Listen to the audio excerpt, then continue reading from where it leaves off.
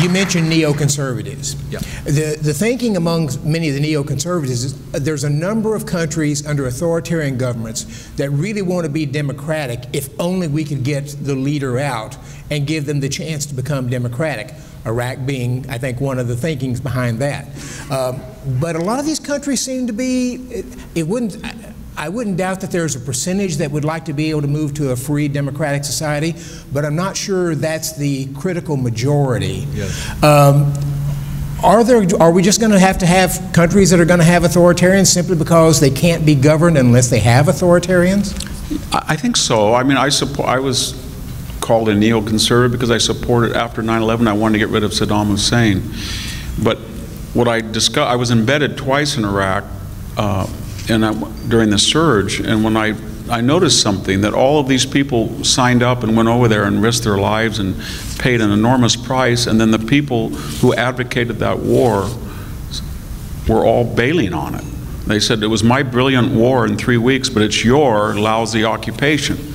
And so I thought, I'll never be on the wrong side of history again where I, I, I try to agree with these neoconservative intellectuals and then they just flip because their careers are endangered because the war has bad, bad polling. So I, I went over there when, to, to see what it was like I went all over the country with H.R. McMaster and Humvee, and then one time in Blackhawks, and boy, it reminded me of what uh, a lot of great generals that said. Uh, Matthew Ridgway, who saved Korea, said there's only one thing bad, worse than a bad war, and that's losing it. And that was what I'm worried about the neoconservatives. For them, it's a parlor game. Let's go take Libya and recalibrate. Let's take Syria. Let's do this. But it's never, it's going to be a messy, dirty thing, and X people are going to die, and they're not going to be people that, you know, live next door to you. And if you decide you want to go to this war, you better sure as hell see it to the very, very end. And the end is always defined as victory. And there is such a thing as victory. It's not a Neanderthal concept. Everybody said, well, how do you define victory? Well, you know how you define victory when the enemy no longer wants to fight and agrees to your concessions. So I, I think that the neoconservatives don't understand that. And you're absolutely right that democracy requires a cultural framework. Uh, the emancipation of women, a free market economy, the protections of private property, and it can't be imposed from on high. Finally, I don't want to go on too long, but if you notice this about the Middle East, to take an example, that when Trump says he really doesn't want to be there, and he says, you know what, I, I'm not going to go. These countries call us up and say privately, please, please, come on, you, please, you have to be here. And when the United States says to NATO, I don't know if I really think you guys are worth it. Please, please, we're worth it. And before it was always, you're an imperialistic and you're dragging us all over the world. And then when he, so the more reluctant and stronger the United States is, the more eager people are for its participation. And you know that's a, an element of human nature. When you call up everybody and say, Am I invited? Am I invited to this party? Oh, not him again. When you say, I just don't think I can make it. And, you, and then people want you. And so the United States is back on the A list again because it's stronger and it doesn't really feel that these countries are worth it. And now they're fighting with each other to get us involved. So uh, at least psychologically, it's so much nicer to have these. Uh, I know as a journalist, journalists for uh, other countries will come to the Hoover Institution, and uh, 10 years ago it was, why do you stick your nose in everybody's business? The Middle East is none of your business. I said, okay. And now it's, well, you're not here, and your friends are here, and they need you here. And it's, it's a very strange experience. So I wonder if you've ever had this question before. Dr. Hanson, could you please reconsider my ancient Greece final grade? Just so I'm going to have to say who this guy is. James Lawrence, Fresno State graduate of 87. there you go. But we do have lots of questions on Brexit and the impact on the United States. You know, it's, I hate to disagree with the president, but he said that he wasn't impeached, he's going to have that withdrawn. You can't withdraw impeachment. He was impeached. If you got to be, you got to be. Uh,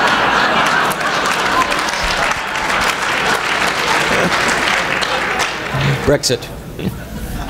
I think most of us thought that Brexit was a good idea uh, for two reasons. One, the EU had gone beyond the original intent of a common market, and it was a utopian enterprise, anti-democratic enterprise that said, we're going to invest a permanent cast of intellectuals and politicos in Strasbourg and Brussels. They know what a banana is. They're going to tell you exactly, you Greeks, if your bananas you grow in Crete are not five inches long, they're not bananas.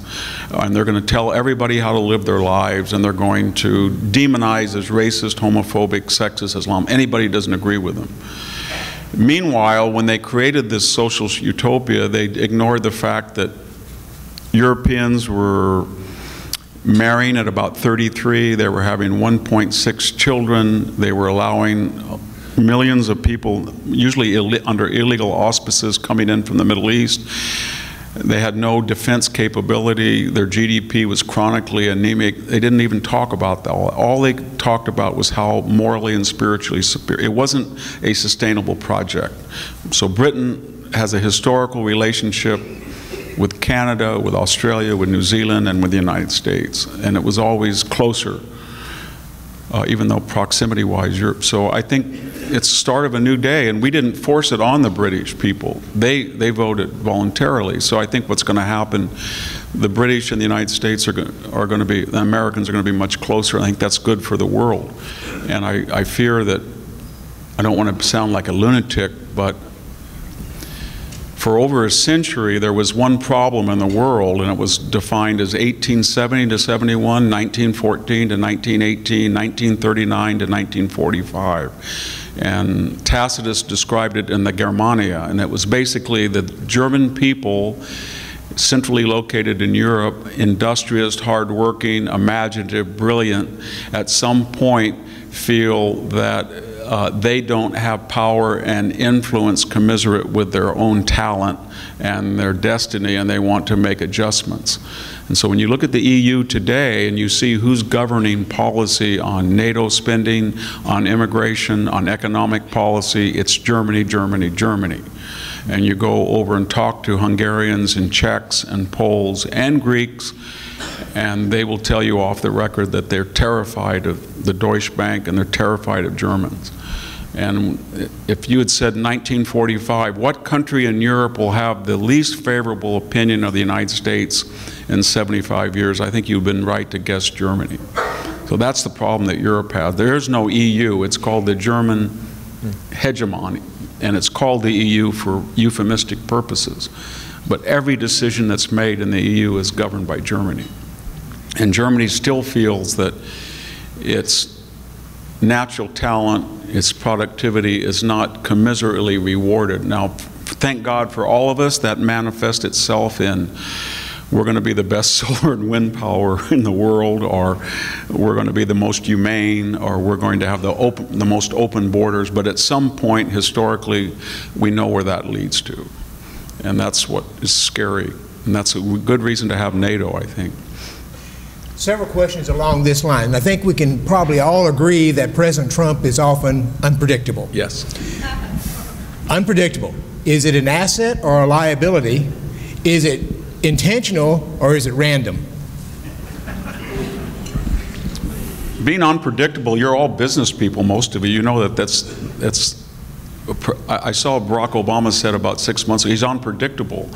And I thought, it's much preferable to be predictable. Obama was predictably anti-American on many issues.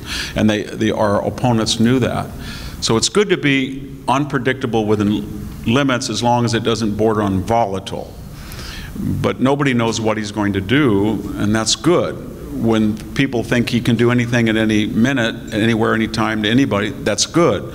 When he starts to to go and he can do some things that are quite dangerous and out that's bad. So within limits, predictability is not as good as unpredictability. So I think that's that's important. And uh, is it feigned? I think a lot of it is feigned. Take the State of the Union, and everybody said it was a great address. I thought it was a good address, not his. Not I thought it was his best, but not the best. I'm not. People compared it, the Gettysburg Address. It was, but there was there was some brilliant things about it.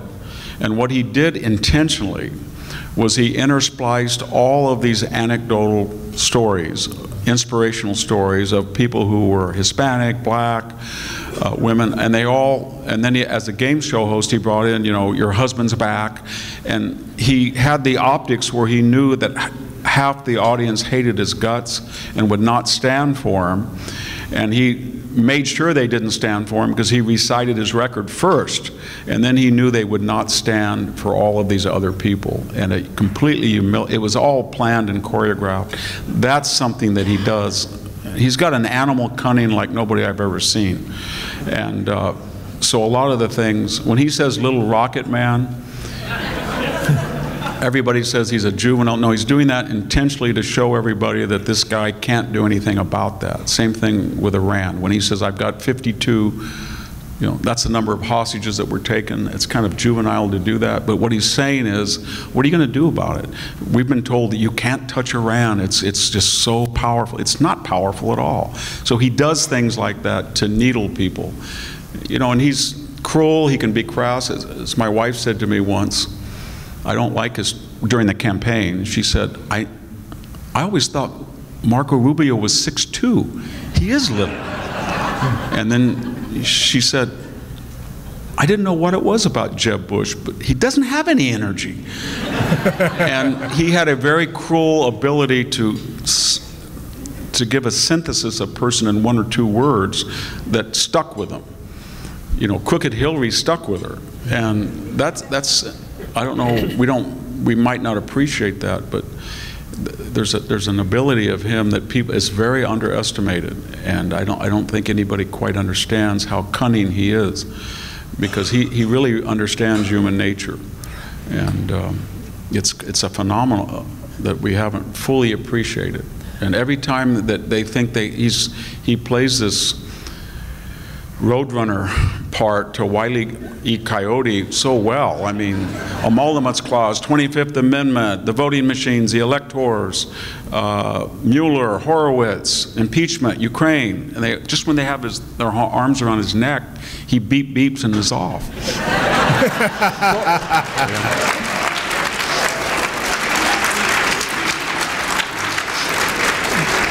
going back to when he announced that he was going to run for president and came down the escalator, yeah. you know, many people said that he was doing it for his brand. When do you think that he really realized that he was leading a movement and had a chance to win? Well, I, I, think he thought he had a chance to win, but he might not win, or at least he wouldn't win.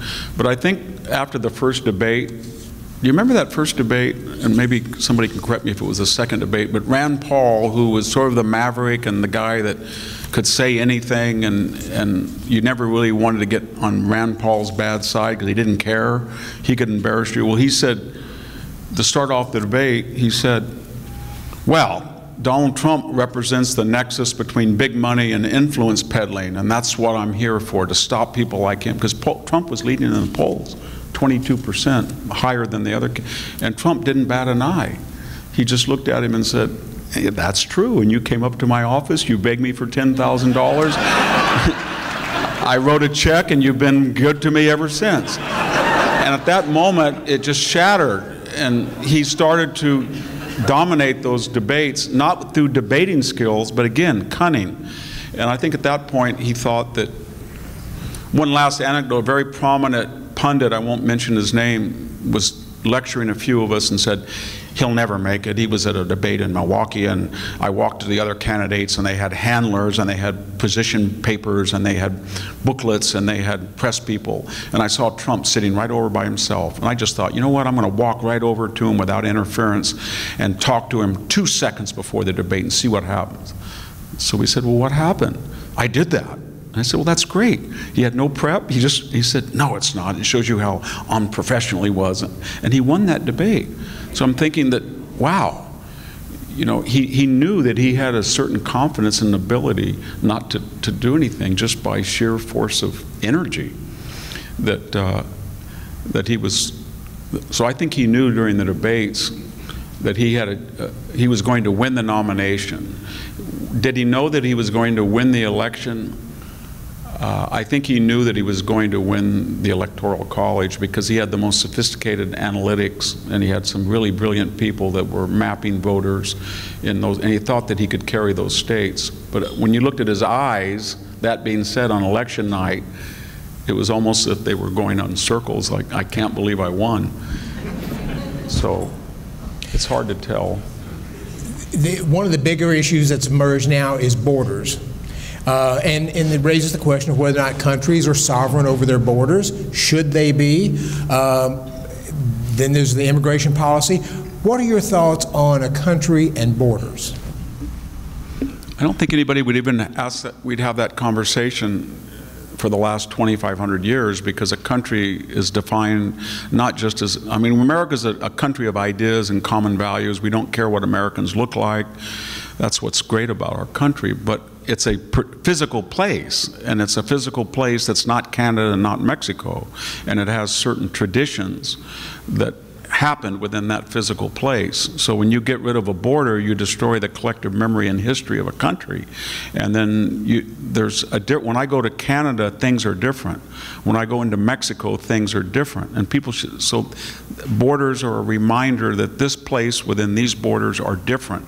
It has different assumptions and it has a particular way. And then you can compare different places because of borders.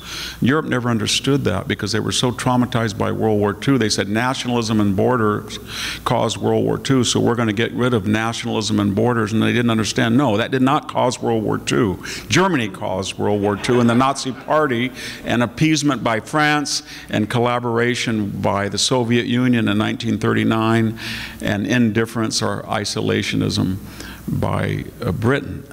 Take away, if, if take away appeasement and take away the Soviet Union's pact with Nazi Germany, and they wouldn't have had World War II. But they took the wrong lesson. So you don't have a nation without a border. And uh, that's what's sad about our policy the last few years. So when we have a border, everybody thinks that these problems are insurmountable. So we, if whatever our plan is to deal with the 19 or 20, according to Yale and MIT, illegal aliens in the United States, I think most people think if somebody has not committed a felony and somebody is working and somebody's been a resident for three or four years, they should be eligible to have a green card. Pay a fine, get a green card, and if they want to become a citizen later on, that's their business. 35% of them didn't under Simpson-Mazzoli because they had children that were citizens. But if you can't follow those rules, that you commit felonies or you can't find a job or you won't, or you just cross the board, then you should be deported. And I think that's the solution that everybody's going to come to accept. And then as far as the problems uh, that, that we've had with illegal aliens, most studies show that if you came from Mexico legally and you're a legal resident, your uh, rate of integration, assimilation in a marriage mimics pretty clearly the Italian-American experience. People came from a poor country, a Catholic country, to a predominantly wealthier Protestant country. took a little longer to assimilate, not much. And I have full confidence that we can do that, but we can't do it with an open border. It just never worked in history. Back, back to China, we have a question from the audience. How do we or should we compete with China's investments in Africa and South America, and I might add everywhere else? That's a good question. I just got back from Greece, and I, I lived there three, three years to take an example, and they have taken the Piraeus, the second biggest port in the Mediterranean after Naples. And you should see it. It used to be, if anybody saw the movie Zorba the Greek, it starts in the Piraeus. It was a pretty rundown place. And they've spent about $10 billion. And it's shiny cruise ships, and now they're building a high speed rail to get out up to Northern Europe, or a link. And so, how could we compete with that? But then when you start talking to Greek government officials off the record, and you look at the lease, they don't think China's ever going to make any money out of it. And then you ask, well, they're not stupid. Why would they do it? Well, they think they're doing it for geopolitical, strategic reasons. That in time of tensions, maybe a cargo ship would Chinese cargo ships would be there, they'd open up their cargo and there'd be missiles in it or something. But for right now, these investments are not penciling out. And the second thing that you talk to these countries that have had these huge investments is Chinese are not like Americans. They're more like Cold War Russians. If you went to Egypt or Libya in the Cold War, Russians were in enclaves. They didn't, they didn't integrate. People didn't want to talk to them. China is the same way. They don't get along with Greeks, they don't get along with Africans, and they're not popular. And you can really see it with this, this corona epidemic. So I don't think we have to compete in that sense that this has been a disastrous policy. They're going to spend trillions of dollars eventually, and they're going to make themselves unpopular, and a lot of these countries are going to default on what they owe China, and we'll see. But that's, I, I think it, if we did it, we'd be called neo-imperialist and colonialist, and we wouldn't do it. Got a question on um, Israel's role in the Yes. Middle East. Yes. Uh, most of us would remember the, uh, a time when the Arab nations around Israel were all critical and would like to see it destroyed. Now Israel is working with a number of them, and they've got alliances with a number of the countries that are surrounding them, leaving the Palestinians somewhat more isolated than they were. What's Israel's role now, and how have things changed? And I might add to that, can you comment on the, what the peace plan that was announced Yes. when only two or three countries stood in support of it? Yeah. Yeah, well, the peace plan that Trump announced, to go to your question first, was essentially an economic one. It said about 95% of 1967 West Bank will go back to the Palestinians, but they'll get a $50 billion investment. And the idea was, and then they just forget about pushing the Jews into the ocean for 10 years, they'll be very wealthy, etc. But the big thing about that peace plan was there was nobody that got up and said it's central to uh, Middle East peace. It's not. And that's the difference. So Trump's attitude was here's a great deal, take it. But if you don't want to take it, that's your business. The world's going to go on with like, and as far as your patrons in the Gulf, they're kind of tired of you too. And they're going to worry about Iran. They're lined up with Israel. Uh, It was brought home to me when the Hoover Institution has a military plan where colonels from all over the world come to Hoover. And for the last two years, some people, I won't mention the countries, would talk to us privately. And one of the colonels said to me, and he was actually a member of a royal family, and said, Why don't you tell the Jews that we have all of these cruise missiles? I said, What? He said, You know, they're very expensive, but we've got them stockpiled, so when they go into Iran, they can use ours, they'll fit. And I said, "What do you mean?" He said, "Well, we want we want them to take out Iran." I said, "Well, then you would blame them." He said, "Yeah, we'd blame them. We'd say you attacked in Islam, but come on, I'm, we're not adolescents here." And and so that's changed. Then the Palestinians are aligned with Hezbollah, Hamas, Hezbollah, and Iran, and that's a losing card. And I think the world also, and I mentioned this last night, is that in 1945, there was 100 million refugees after World War II. And believe me, there is no such thing today as the Volga Germans. Stalin just got rid of them. And there's no such thing as the Sudeten and Germans and got rid of them. And there's no such thing today as Greek Cypriots in places like Peloponnese. That's 40 years ago. They don't exist anymore. So the world is saying, well, why is it that somebody can say, these are my keys to my house in, in Jerusalem that I lost in 1967? And I think the world is saying, that's about as important or not as important to me as a German driving his BMW into Gdansk and saying, this used to be my paternal estate in Danzig. Nobody cares. And the reason that the Palestinians were the refugees, the only refugees 75 years after everybody else, and uh, by the way, I'm talking about a million Jews that were ethnically cleansed from Syria and Egypt and Jordan after the 1967 war. Nobody said a word. Do any Jews today say, I have, here's the keys to my apartment in Cairo? They would be laughed out. But we gave such preeminence to the Palestinians because of terrorism and because of oil. And I don't think today uh, those are issues that, that are going to resonate. And uh, so they have a plan, and if they were smart, they would take the money and the plan. And I don't think they'll take either, and I don't think the world, to be frank, will care much. So we have time for one more One question? more question. So this is not a foreign policy question, but yesterday the World Affairs Council hosted Tony Kronman. and he's written this book on the assault on American education, uh, uh, American excellence. And so the question from the audience are, what are your thoughts about the social justice takeover of higher education among cultural elites? We, Fell in line with what Yeah. Tony Kronman said yesterday, so I'm I have a flight today f- back to Fresno, so I don't think that I could answer it. You can talk safely here, I Yeah. suspect. Well, I mean, it would take days, but uh, look, the problem with higher education is that it's 90%, at least in the humanities, progressive, left-wing people. I do not see it anymore as disinterested. So they don't think that they're going to teach an inductive method, how to reason inductively, and then give you a body of knowledge to draw on as reference. That's what education was. Et ex ducare in, in Latin. Okay, so they decided that your family and your religion and your corporation were so right-wing and backward that they were going to be the bastion of liberalism to counteract you. And they had your children for four years, but you had them all the other time. So they said, we don't have to be balanced because the, the whole country's imbalanced. So we're a foil to that, that asymmetry. That was the first thing. The second thing that happened, they became enamored with money and corporate life. So the rate of intuition uh, went up above the rate of inflation every year until about a year ago.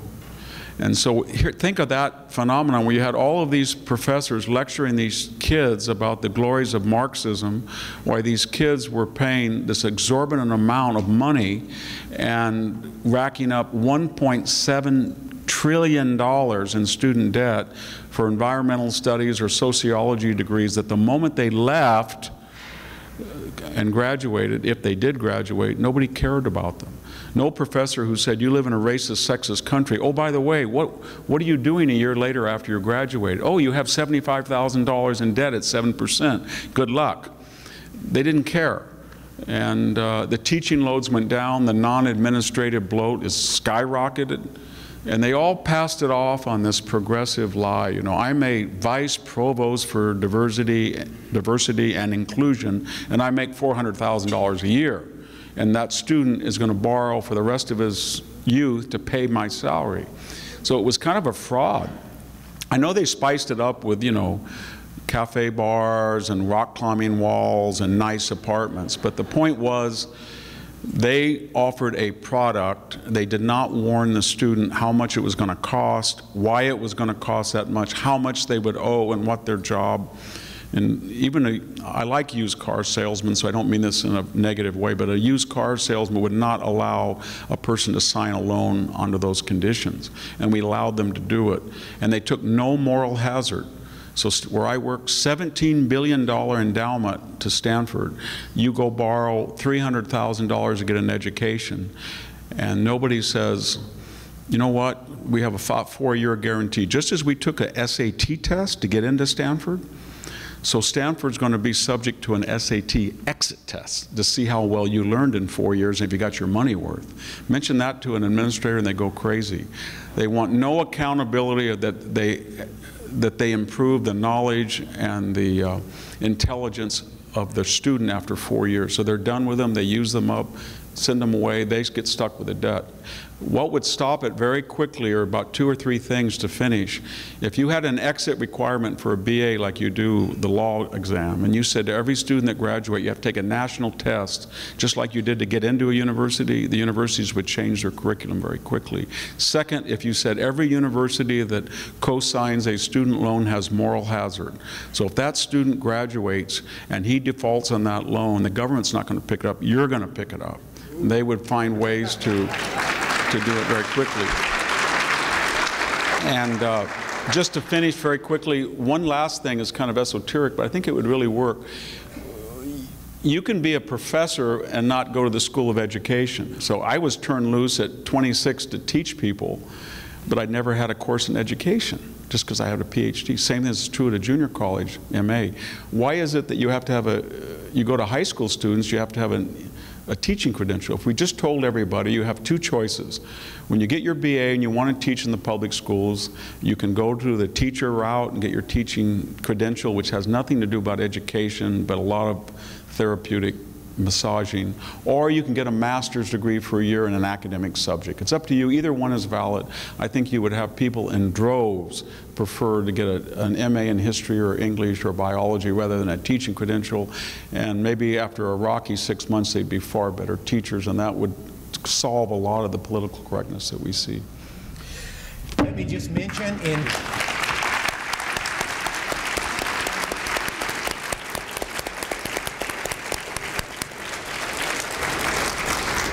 Dr. Hanson has a date with the Sumner Scholars, so he's got to shift over to a room, so don't come up and sort of surround him and keep him from getting there because he's got to get there.